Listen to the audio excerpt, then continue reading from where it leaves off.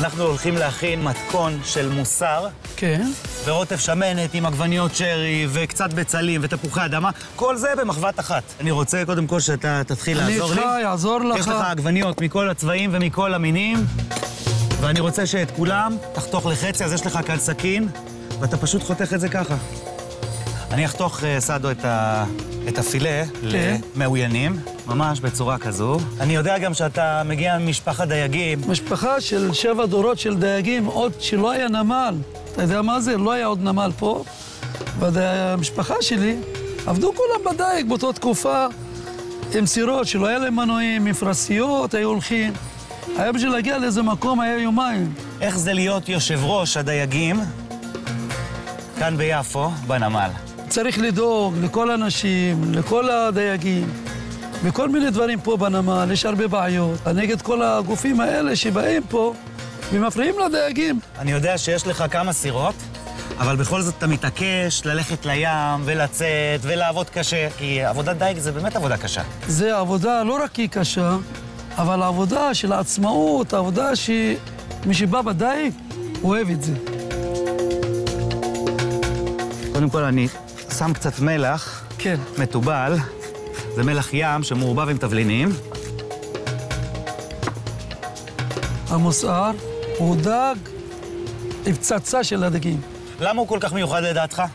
כי הדג הזה מלא בשר, אין הרבה עצמות, דומה ללוקוס, והמחיר שלו הרבה פחות מהלוקוס. אני אטבל אותו בתבלין לדג, במיוחד בשביל דג. זה תבלין ללא מונוסודיום, כן. רכיבים טבעיים. אני מוציא את זה לצד ומתחיל עם הירקות. אני הולך להתחיל עם הבצל. ככה, אתה יודע, בצורה כזו אחידה. תראה, את הקרישה, אנחנו חותכים כן. עד החצי, תסתכל איזה יופי, חותך עד החצי. אה, לא ממשיך עד הסוף. לא ממשיך אה, עד הסוף. זה, אני פותח אותה, יפה. ואני חותך את זה לרצועות. נפרוס לנו קצת שום. כן. יפה, וזה הזמן שלנו לטגן את הדגים. אנחנו מטגנים את הדגים עם קצת קמח, כן. כי אנחנו רוצים שהדג ישמור על המרקם שלו. אז הנה, תראה מה זה, יש לנו פה רוח. יש קצת רוח, כן. על הים תמיד יש רוח. מה שנשאר לנו זה לטגן את הדג. אני מתיז קצת שמן שמתאים לטיגון, לאפייה, ומיד אני מניח את הדגים לטיגון. תראה איזה יופי. תמיד גם עדיף להשתמש במחבת עם תחתית עבה, כי ככה זה שומר על החום של המחבת. וגם היא עשויה מ... מחומר שהדגים לא נדבקים למחבת. אני יודע שלדייגים כן. יש אמונות טפלות. למשל, עכשיו יצאנו לים, ועברנו נגיד מאיזה כביש, ולא תפסנו דגים, למחרת לא עוברים הכביש הזה.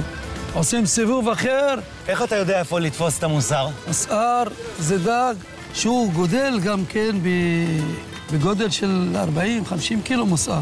הם תמיד אוהבים לא את המים המלוכים מלוכים, כמה שפחות מלח.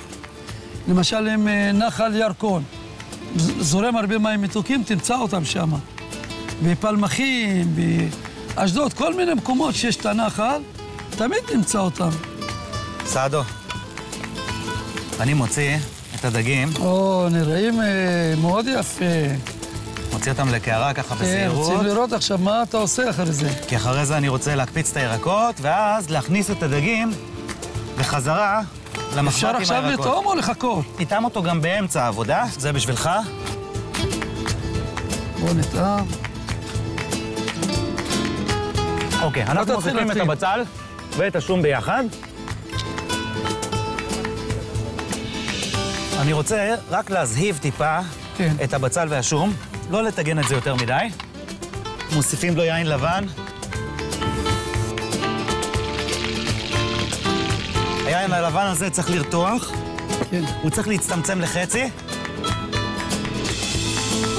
כן. ואז אנחנו מוסיפים לזה את השמנת. קצת שמנת, ניתן לזה לרתוח. עגבניות שרי. עגבניות שרי תמיד אני שם בסוף, כי אני רוצה שככה הן לא. יהיו רכות מדי. כן. אני אוסיף לזה קצת פטרוזיליה, קצת? כוסברה. ניתן לזה ערבוב קל. וכדי להשאיר את זה ככה עם פחמימה, כן. אני אוסיף קצת תפוחי אדמה, שבישלתי מראש, ו...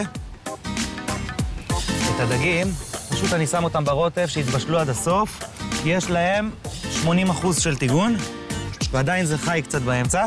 כן.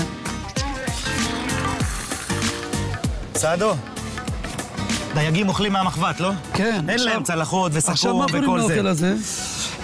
זה, אני אקרא לו חריימה מאירופה, בסדר? זה כי זה עם שמנת מתוקה.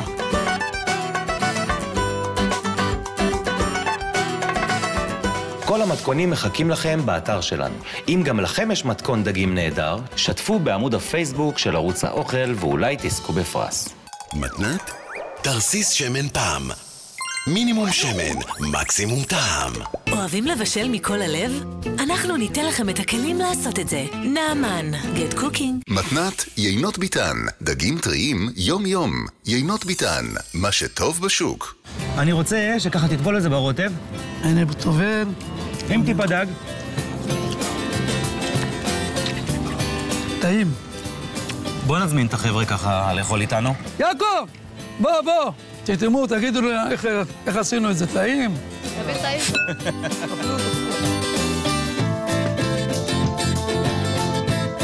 סעדו, נהניתי כל כך לבשל איתך את המתכון.